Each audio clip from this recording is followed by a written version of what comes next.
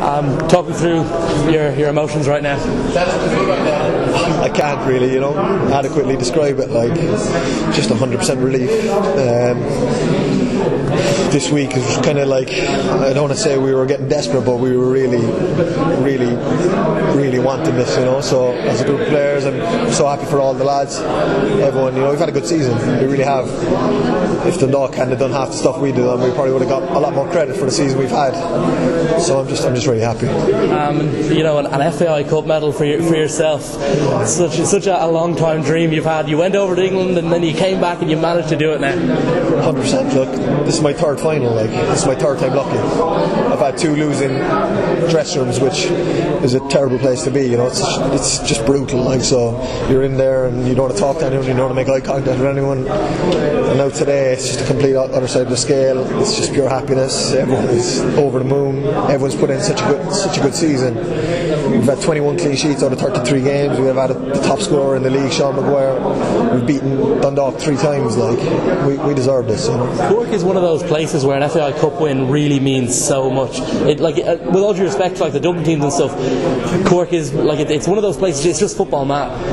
They don't understand. It's sport mad. You know. It really is. Like when when the gal lads go out, everyone turns their attention to the to the soccer, and then when we're finished, everyone turns their attention to, to the rugby, whatever. It's it's just sport mad. And, the support you get like from, from everyone. Is just immense and I'm, I'm really happy for everyone to travel today.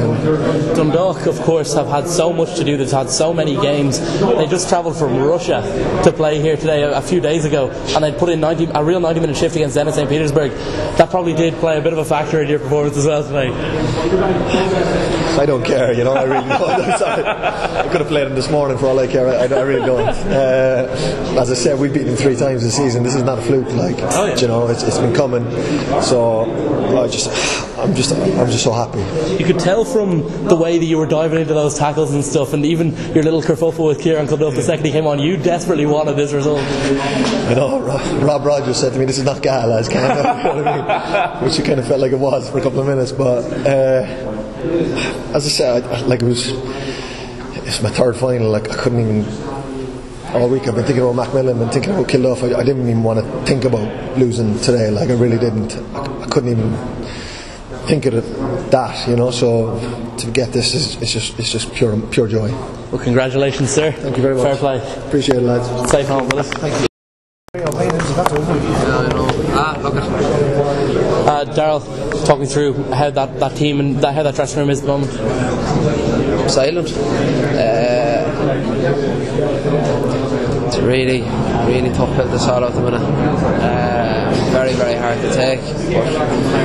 But well, congratulations to Cork. Absolutely. Uh, just you, you, it must have just taken so much out of you to, to go to Russia, come back and play a game two days later, and go the whole 120 minutes. Ah, look, we're not going to use that as an excuse. No, no chance. Um, and fall our way.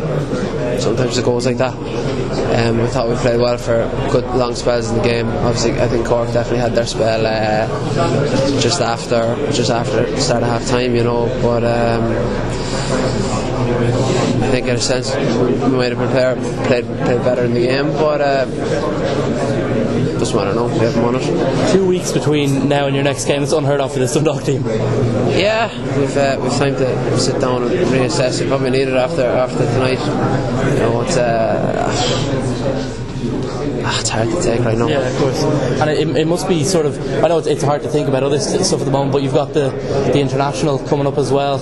It was a big honour for you midweek. Well, hopefully, uh, I'm not in the squad yet, and hopefully I will get in, and Boiler will get in, and you know, we can go from there. But um, right now, it's just uh, it's the furthest back of my mind as it could possibly be. The things that, that Martin has said about you numerous times at many press conferences and many interviews.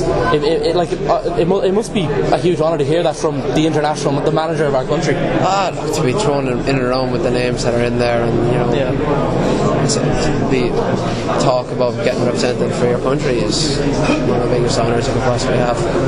You know, it's every young lad's dream to play for his country, and it's always been mine. And look, if I get the opportunity, hopefully I'll be able to take it.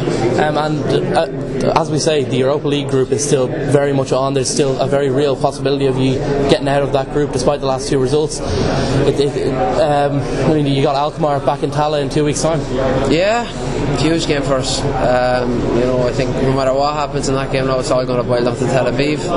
But um, hopefully we can we can put on a, a, good show, put ourselves in the best possible position we could be in. What's the plan for yourself? What, like, what, what do you plan to do? I mean, the, I, I, know the international would, would take a, a, big thing for the two weeks. What, what, do, you, what do you plan to do in, in that little break? Because as I say, you, you haven't really. Yeah, when's the last time you had two weeks off? Well, off? No, we'll be in training now. We'll have the week. Uh, two weeks between matches. Well, not the weekend, but have a few days now and get in, do a bit of training, try to refocus and get set for Alkmaar.